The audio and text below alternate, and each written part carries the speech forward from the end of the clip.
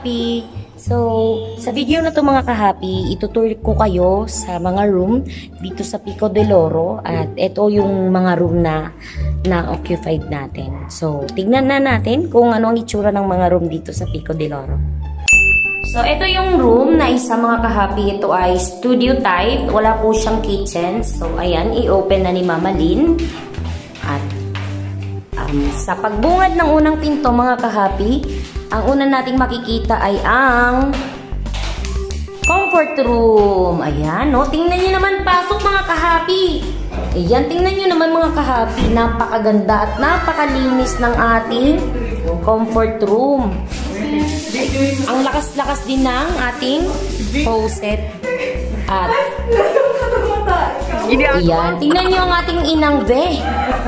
Mag, mag-ano na daw po siya mag sa shower. Pati ba ba? Mm, yan. Yun. Ayan, napakalaki po ng shower dyan mga kahapi. May dalawang klase ng shower. Pwede mo siyang ma-hot and cold.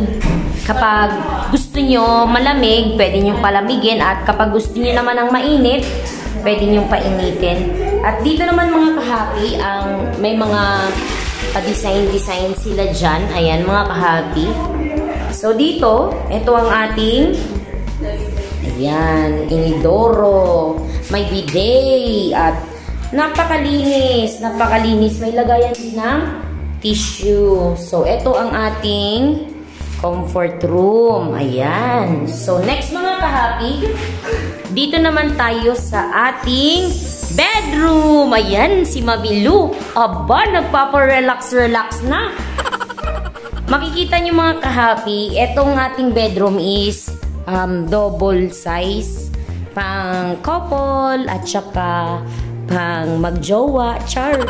Sa murang halaga ay meron na kayong studio type na um, room. Ayan. At meron din sila ditong free water. Ayan, hot and cold. And then, iikot natin mga kahapi, makikita nyo ang mirror. Yan. Kitang-kita nyo. Then, meron din po silang um, TV. At ito po yung tatawagan ninyo for more inquiries. Ayan po.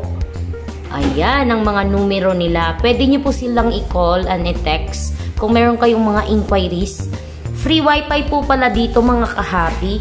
Ayan, pwede din ninyo ditong lagyan ng kung ano-anong mga gamit ninyo. And then, meron ditong table for 2 or 3 kung may anak kayo. And pagkatapos mga kahapi, makikita nyo meron siyang sliding door papunta sa terrace or veranda. Sa mga plantitas, plantitos dyan, napakadami po nating flowers dito mga kahapi. Ayan, pwede po tayo ditong mag-coffee at makikita nyo ang ambience, ang view ay napakaganda mga kahapi ang ating lagoon ay napakalaki at napakalawak. Kitang-kita dito. Tomorrow morning, mga kahapi, ipapakita namin sa inyo ang itsura ng lagoon dyan. At ayan, ito yung mga table natin, mga kahapi. Meron din ditong aircon, so huwag kayong mag-alala dahil malamig po ang ating room. Ang studio type na ito ay napakalamig. Paki-close naman po, mamalin ng ating curtains. Yan, napakagandang curtains yayamanin. O di ba mga kahapi? Kapag pumunta kayo dito sa Pico, Peco di Loro, just contact Mama Lynn for more inquiries and happy simple moms! Ayan! Ito po ang magiging room ni Mama Lynn at ang kanyang husband. Char! May honeymoon na magaganap dito mga kahapi. For the first time! So weird.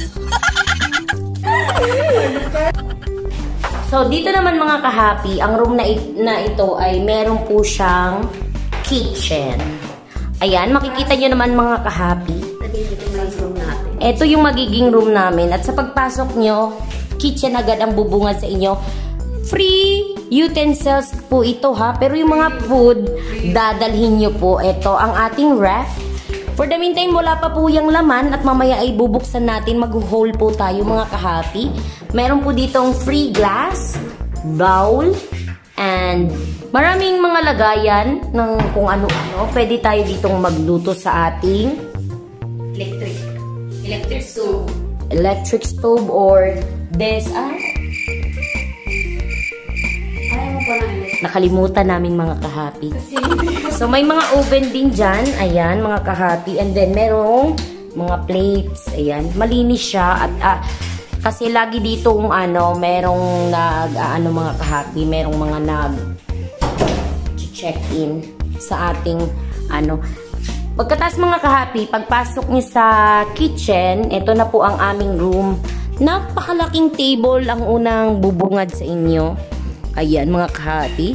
At may nakalagay ulit dito mga kahapi. For more inquiries, just contact this number and also Mama Lynn and Happy Simple Mom page. So ayan. Ayan ang mirror. So eto ang ating um, water dispenser, hot and cold. And then, meron tayong TV. And then, meron din tayong, eto mga kahapi, pwede kasi to sa family. Kung more than 6 per, ah, six person kayo, pwedeng pwede ito dahil etong sofa na ito ay pwedeng gawing sofa bed. Magiging sofa bed po ito. I, i ano lang po at nagiging kama na po yan. And then, ayan po ang ating window type na, ah, ano tawag dito? Eh, window type ba ito? Oo. Window Split type. Split, split type. Split type aircon. Ayan. Ang curtains natin ay napakaganda. Ayan. And then, dito mga kahapi, meron kayong sala set. Ayan. Diba? Refreshing na refreshing. So, dito naman mga kahapi, andito yung family size bedroom. Sige na, in, sige na inang be, simulan mo na ang pag... Woo! Napakasarap higaan mga kahapi. Ayan oh. Ah, sarap na sarap na sila. King size bed. Meron yung design, napakagandang mag-picture-picture dyan. Yes. And then, mga kahapi, dito po ang aming comfort room. I-open natin ang ilaw. And then, ayan makikita nyo, merong mirror. And then, ang ating faucet. Maganda at malakas po ang mga tubig dito mga kahapi. At ito naman po ang ating toilet. And then, dito mga kahapi ang ating shower area. So, ayan mga kahapi, kagaya ng pinakita ko sa first room, sa studio type, meron din siyang shower area and then um, glass door. So, makikita nyo naman mga kahapi, napakalinis po talaga ng lugar dito. Ayan, at napakaganda po talaga. At sulit na sulit ang inyong vacation. And then, pag pinatay mo na yan mga kahapi, marami kayong mga gamit na dala. Just in case na kailangan nyo ng lagayan, meron tayo dito cabinet, closet cabinet. Ipapakita ko na lang sa inyo mga kahapi. Ayan. Ayan, napakalaki, di ba? Kitang-kita nyo, pwede nyo ayusin ang inyong mga gamit dyan, mga kahapi. So, next mga kahapi,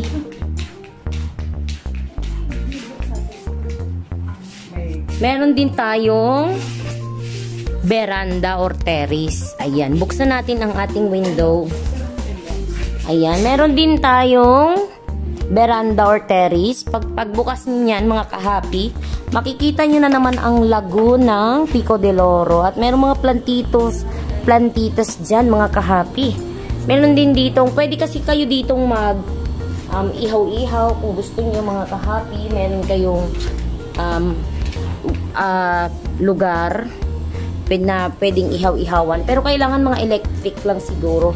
Meron ding sampayan, mga kahapi. And then, ayan, may malaking table para pag nag-coffee kayo ng family or breakfast, dito, kayo sa table na ito, mga kahapi. At dito, mga kahapi, ito yung lagoon. Ayan. Sa lahat ng parte ng condo dito sa Pico de Loro, lahat ay merong view ng lagoon. Bukas ng umaga mga kahapi, napakaganda ng lagoon na ito. Makikita nyo. So, ayan na sila mga kahapi. Ang saya-saya nila, di ba? Ang saya-saya nila mga kahapi.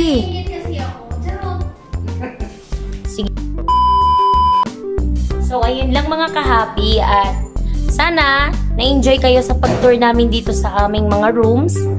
And just stay happy and simple from Happy Simple Moms. Bye! For upcoming videos pa mga kahapi!